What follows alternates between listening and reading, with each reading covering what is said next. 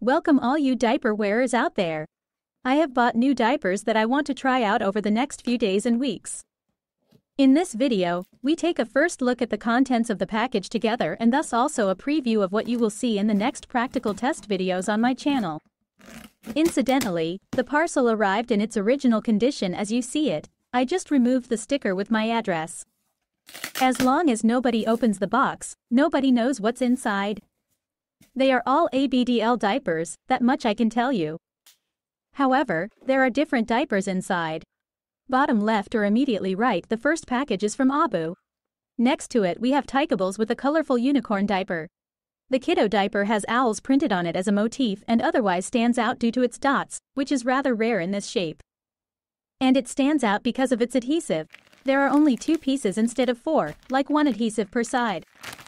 Relatively few diapers try this, so I want to test how well it works with Abu. I have already tested a few others with only two adhesives, which were rather mediocre, you can check out the videos. I'm curious to see if the kiddo does a better job. Behind it, or rather next to it, we have another one from Tykables. It's aimed at everyone who likes unicorns and colorful rainbows on their diapers. It is available again, I made an episode of Diaper News about it. Under this pack is the Little Rascals, which did very well in the practical test, that's why I bought it again for everyday use. It's the only one for which there won't be a new video. The others are completely new. This also includes the Tinimals, which I only introduced to you in the last Diaper News episode. As they are already available, I ordered them straight away. They look interesting, beautiful, colorful motifs and from the first impression it seems to be a thick diaper that should definitely withstand a lot. On the left is the Dragoons from LNGU, a rather smaller diaper manufacturer from France.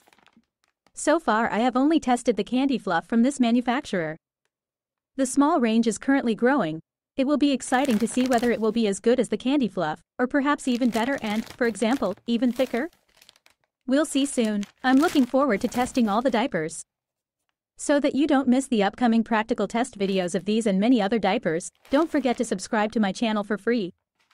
Now I'm interested in your opinion. Which of these diapers do you find the most interesting?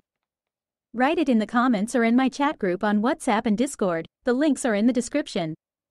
Until the next video, stay dry and don't leak.